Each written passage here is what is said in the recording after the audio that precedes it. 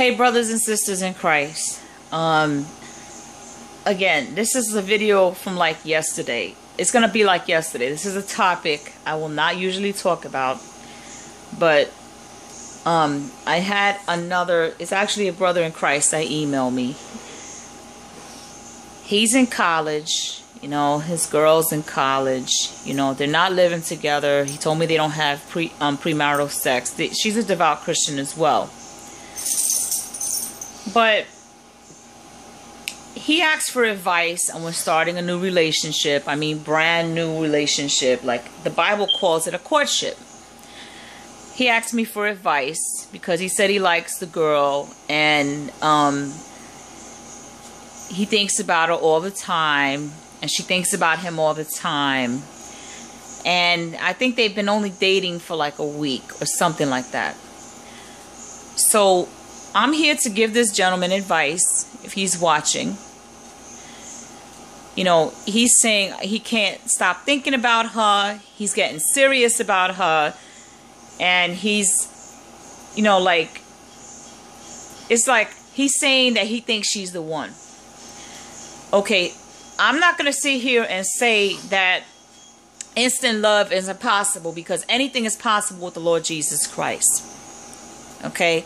But even in the Bible, when David courted one of his wives before he actually married them, the Lord had him court, date one of his wives before he married them. And it wasn't very long, it was for a time. It was a time appointed by the Lord Jesus Christ. All right? So, all I could tell you on this matter, brother in Christ, is don't rush into anything. Let the Holy Spirit lead the way. Let the Lord Jesus Christ direct your footsteps and her footsteps. A new relationship can be exciting. It could be exhilarating. You're just getting to know one another. And you just got to keep getting to know one another. Okay? Um, don't make a snap quick decision that she's the one, she's this, she's that. Because all you know, what if she turns to be, turns out to be like the Wicked Witch of the West? You know what I'm saying? I'm just giving you a figure of speech. Okay? And what if you turn out to be like a goblin to her or, you know, like uh, a toad instead of a prince? It's just a figure of speech. You, you want to get to know one another and take things slow. Let the Lord Jesus Christ guide you. The Lord brought her in your life for a reason, and you were brought into her life for a reason. So let the Lord guide the footsteps. Don't worry about the mechanics of the relationship. Don't worry about if she's going to like this about you or that about you, or if she's going to like you as a whole, if she's going to accept you for your habits, if she's going to accept you as a whole. If she can't accept you for who you are, first off, she's not the one and you got to send her packing. And if she and if you can't accept her, then she's got to send you packing. Just take things slow. Let the Lord Jesus Christ guide the way Okay? And if it's meant to be, you too will progress to the next level of the relationship. Okay? Like I said, ladies and gentlemen, I don't do relationship videos. This is a ministry, and I will, this is a ministry that talks about Jesus Christ. Okay? But if it's a topic that is not related to ministry, I'm going to tie it into the Bible. Now, as a reminder of what I talked to you all about yesterday, that's my guinea pig in the background. Excuse me. Put put David down, please. Uh, Elizabeth. Elizabeth? Okay, put Elizabeth down. Sorry for the interruption. Anyway, like I said, just because a couple are dating, it doesn't mean for you to go shack up with that couple because you know that the Lord says you can't live together or fornicate or you can't have premarital sex. Okay? So, in a brand new relationship, take it slow, you have to trust one another. If you have made it exclusive, where it's just you and her, you're in a committed relationship, that means that you cannot be talking to other girls and she cannot be talking to other guys. That means that you talk to one another so that way you could build that trust, you could build that foundation, and you could take it from there. Okay? This is the second relationship question that I got and like I said, I might talk about relationships, I might talk about marriage and stuff like that. And I'll always tie it into the Bible. I'll always link it to the Bible. You know, I, I told you before that you want to have a partner, you know, court somebody that's of the same faith as you, so that way you're united, because God is a, is a rock united. God, God is a rock united. He is the foundation of the church. Amen. The church meaning not only the holy, righteous church, you know, the structural building, the very few righteous ones, but also of the righteous human being, him or herself. So you want to be in a relationship with somebody that is strong in the Lord like you are.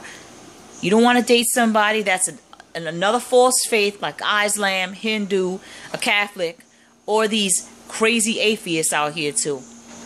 I'm going to address that in another video. I'm going to talk about that in another video. Um, no, let me talk about it right now. You know that these atheists are nuts? You know that they get offended when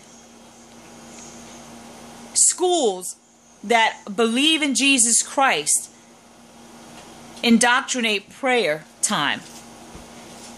They get offended because the the uh, the uh, the Constitution allows for religious freedom, which we all know is being stripped. And they get offended when a person's reading the Bible in a public property.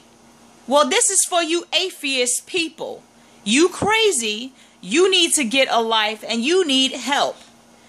And you know what? Your little videos that you make making fun of God and making fun of Christians means nothing. That means that you have no life. You are miserable and you are so upset that Jesus Christ is truth. You know Jesus Christ is truth. And to this day, you're trying to discredit him and it's not working. So you have to make video after video after video trying to discredit God, but it's not working. So you get upset and you continue with your little videos. You can continue with your little videos and making fun of Christians. That's on you, but you're going to be the one to find out soon enough that you were in error when you're the one burning in hell. So, ladies and gentlemen, I didn't mean to deviate from the topic of relationships. But I just had to say that little piece to these little atheists, if they're listening, to let them know that their words are nothing. Their little videos are nothing because they're straight up pathetic and, and they need help. And really, they're this small, this small when it comes to Jesus Christ, that tiny. They're nothing but a dot on the map. So you can say what you want about the Father, but you know what? The Father's coming and the Bible prophecies are going to be fulfilled. So whatever you say, it means nothing. You're not bothering us strong Christians in Christ. Believe that. You're not bothering us. We just laugh at you. We mock you. Going back to the topic at hand, ladies and gentlemen, if you in a new relationship, take it slow. Take it one day at a time, get to know the person. If that new relationship, it has distance between you two, I talked about it yesterday. Check out that video. Get to know one of one another. Don't rush into who's going to make the first visit where. Get to know each other first. Build that foundation. And then when you got that solid foundation, one of you make the visit to that person. And don't care what anybody says about your new relationship. You tell people to mind their business if you have to. Okay? You just worry about you. Still be wonderful and loving to your fellow man. But if someone's trying to tell you when you when you are liking someone, you dating someone, you really feeling them for real, and you think that they're, you know, that there's possible potential here, that you're gonna grow close to them, okay? and someone's telling you otherwise and they keep butting in your business, you tell them, Jesus got this. I do not need your input. Jesus got this. I know what I'm doing. The Father's guiding me. Okay, so I'm going to put up another video, maybe talking about whatever the Holy Spirit leads me to talk about. Okay, but this video right here, I guess it was for the it was for the gentleman asking about his new girlfriend and also a little quick message to these pathetic atheists out here. Okay? So, with that being said, brother in Christ, if you're watching, just keep proceeding with the Lord's guidance. Let Him direct your footsteps, and everything will fall into place. Have a blessed day.